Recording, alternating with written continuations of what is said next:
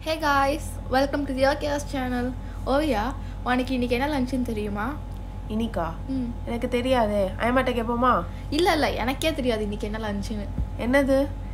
Surprise சர்ப்ரைஸா சொல்லு. எனக்கு வசிக்கு வேற செய்யுது இன்னைக்கு. இன்னைக்கு நான் வீட்டில் பிரியாணி.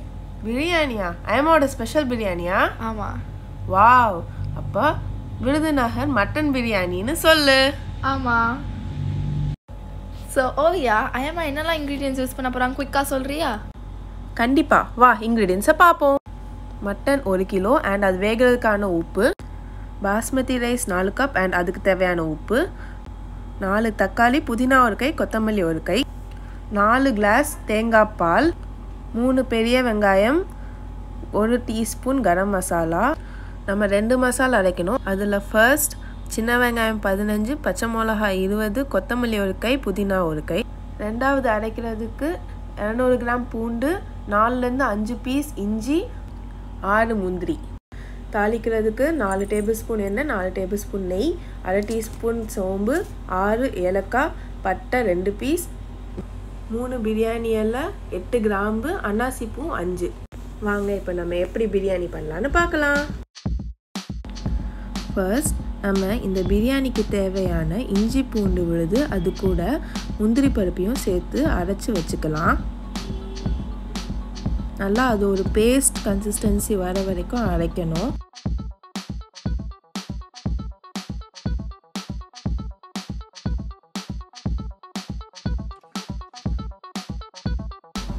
தேவைன்னா கொஞ்சமாக தண்ணி விட்டு அரைச்சி வச்சுக்கணும்.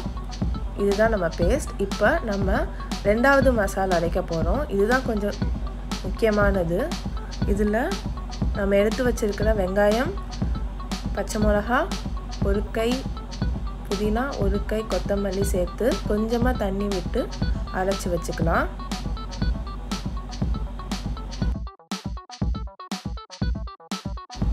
அவ்வளோதான் இப்போ நம்ம ரெண்டு பேஸ்ட்டும் அரைச்சி வச்சுக்கிட்டோம். இப்போ நம்ம அடுப்பை ஆன் பண்ணி அது மேலே ஒரு குக்கர் எடுத்து வச்சுக்கலாம். நம்ம இந்த குக்கரில் தான் நம்ம பிரியாணியை பண்ண போகிறோம் இப்போ. இப்போ இந்த குக்கரில் நாலு டேபிள் ஸ்பூன் எண்ணெய் நாலு டேபிள் ஸ்பூன் நெய் விட்டு ஹீட் பண்ணிக்கலாம்.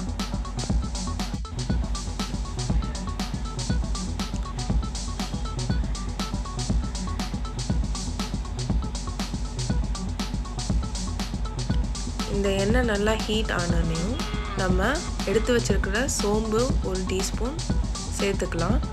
இந்த சோம்பு நல்லா பொரிஞ்சு வந்ததும் மீதி தேவையான பிரியாணி மசாலெலாம் போட்டு நல்லா ஃப்ரை பண்ணிக்கலாம்.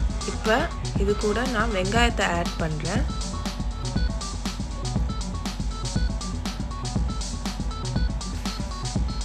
வெங்காயம் நல்லா ப்ரௌன் கலரில் வர வரைக்கும் கொஞ்சம் வதங்கணும். வதங்கினோனையும் நம்ம இஞ்சி பூண்டு விழுது சேர்த்துக்கலாம். நம்ம ஆல்ரெடி அரைச்சி வச்சோம்ல அந்த இஞ்சி பூண்டு விழுது. இதில் இருக்க ரா ஸ்மெல் போனதும் நம்ம தக்காளி நாலு எடுத்து வச்சுருக்கோம். அதையும் சேர்த்துக்கலாம்.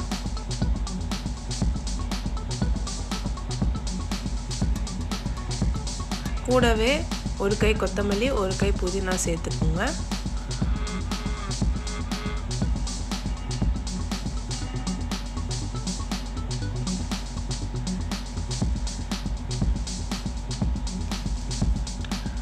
இப்போ இந்த தக்காளி இதெல்லாம் நல்லா வதங்குற வரைக்கும் நல்லா பிரட்டி விடணும்.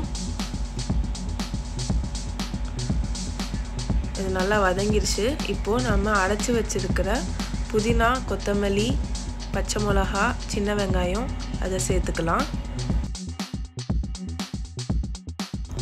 இப்போது இந்த இன்க்ரீடியன்ஸ் எல்லாம் நல்லா வதங்கணும். அப்போ தான் ஒரு ரா ஸ்மெல் இல்லாமல் இருக்கும். இது கூட நம்ம எடுத்து வச்சிருக்கிற ஒரு டீஸ்பூன் கரம் மசாலாவையும் மட்டன் வேகிறதுக்கு தேவையான அளவு உப்பு அதையும் சேர்த்துக்கலாம்.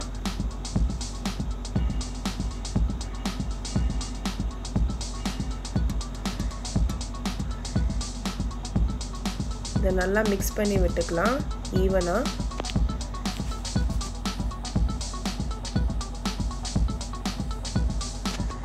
இப்போது எடுத்து வச்சிருக்கிற ஒரு கிலோ மட்டனை ஆட் பண்ணலாம்.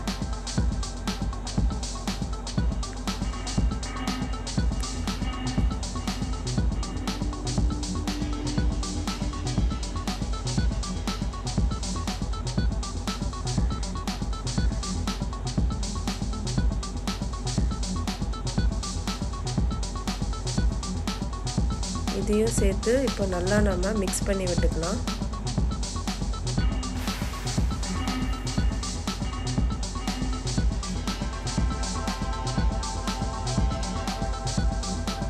மட்டன் நல்லா மிக்ஸ் ஆகிற டைமில் நம்ம எடுத்து வச்சுருக்கிற அரிசியை ஒரு டம்ளர் தண்ணி ஊற்றி நல்லா கழுவி எடுத்து வச்சுக்கலாம். இப்போது மட்டன் நல்லா மிக்ஸ் ஆயிடுச்சு மசால் கூட நல்லா. இதை வேக வைக்கணும் நம்ம. அடுத்து ஒரு டம்ளர் தண்ணி ஊற்றி வேக வைக்கலாம். இல்லைன்னா கீழே அடி பிடிக்கும். இப்போ இந்த குக்கரை நம்ம மூடி அதுக்கு மேலே வெயிட் வச்சிடலாம். இப்போ நம்ம எடுத்து வச்சிருக்கிற கழுவுன அரிசி கூட நாலு டம்ளர் தேங்காய் பால் சேர்த்துக்கலாம்.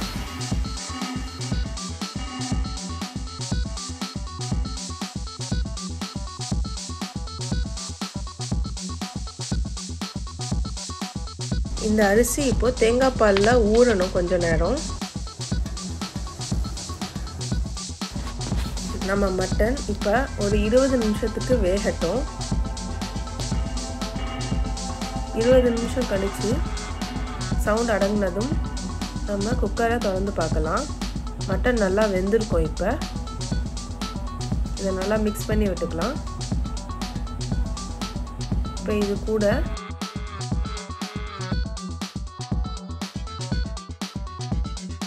இப்போ இது கூட நம்ம தேங்காய் பாலில் ஊற வச்ச அரிசியை சேர்த்துக்கலாம்.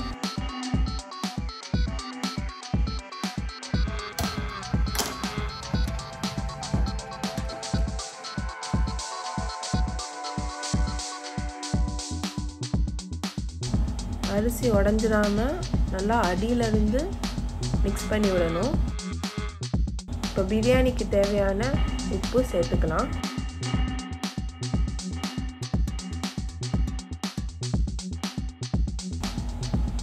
நல்லா மிக்ஸ் பண்ணி விட்டுக்கலாம் இப்போ.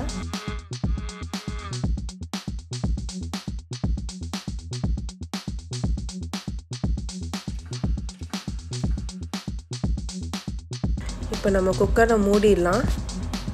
மூடிட்டு அதுக்கு மறுபடியும் வெயிட் வச்சிடலாம். ஒரு விசில் வர வரைக்கும் நம்ம வெயிட் பண்ணணும்.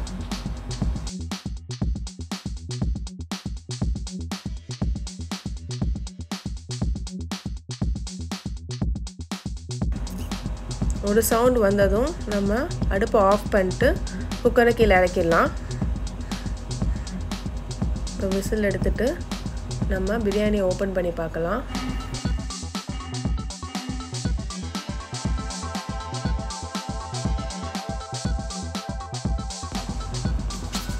நம்ம அரிசிலாம் வெந்துருச்சு இப்போ. மட்டனும் ஆல்ரெடி நல்லா வெந்துருச்சு. இப்போ இதில் நம்ம ஒரு ஸ்பூன் நெய் விட்டுட்டு நல்லா மிக்ஸ் பண்ணிக்கணும். அப்போ தான் நல்லா உதிரியாக வரும். பிரியாணி ஸ்டிக்கி ஸ்டிக்கியாக இல்லாமல் இருக்கும். நம்ம அரிசி குழஞ்சிடலை கரெக்டாக நம்ம எடுத்துட்டோம். பாருங்கள் எவ்வளோ நல்லா உதிரியாக வந்திருக்கு.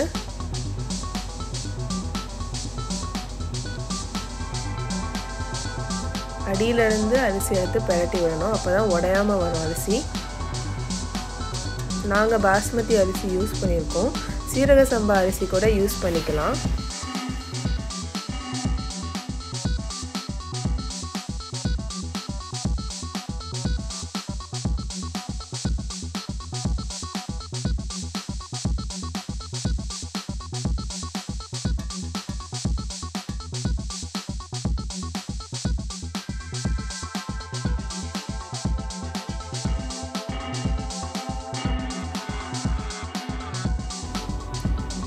அவ்வளோதான் இப்போ நம்மளோட விருதுநகர் மட்டன் பிரியாணி ரெடி இந்த பிரியாணி எங்கள் அயமாவோட ஒரு ஸ்பெஷல் ரெசிபி ஸோ மறக்காமல் எல்லாருமே இதை உங்கள் வீட்டில் ட்ரை பண்ணி பாருங்கள் இந்த வீடியோ உங்களுக்கு பிடிச்சிருந்துச்சுன்னா லைக் பண்ணுங்கள் ஷேர் பண்ணுங்கள் அண்ட் மறக்காமல் சப்ஸ்கிரைப் பண்ணுங்கள்